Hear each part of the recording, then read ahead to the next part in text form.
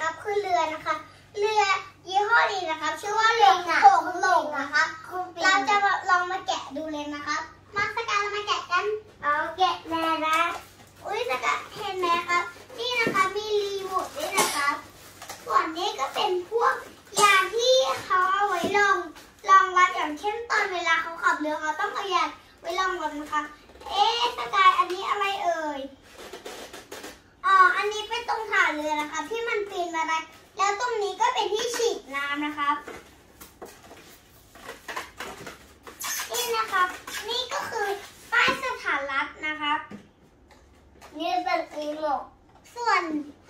นี่คือคู่มือนะคะ เดี๋ยวผมนักสกายเราลองมาแกะเราลองมาดูเรือกัน เห็นไหมครับเรือลำใหญ่มากเลยนะคะ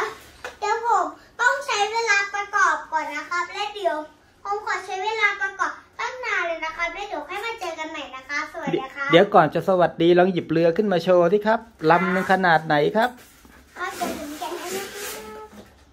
อืมปลาอันนี้อะไรอันนี้รีโมทครับโอ้นี่สกายดูโอ้ลำใหญ่มากเลยนะ เอาเลยต้องคนต้องใช้เวลาประกอบนานใช่ไหมครับใช่ค่ะเพราะมันหนักมากเลยนะคะทางนี้แหละอู้ปลาสโนว์สกาย นี่เห็นไหมเรือของ เสร็จแล้วนะ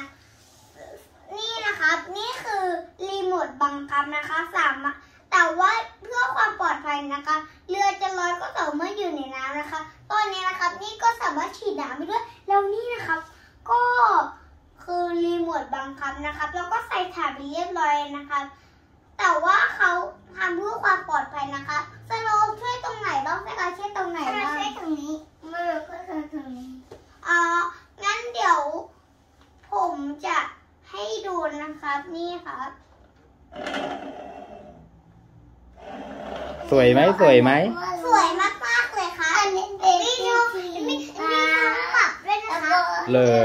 มีทรงนะคะทรงเป็นทรงสถานรัฐอังกฤษนะคะได้งั้นเดี๋ยวเราไปเล่นกันเนาะค่ะ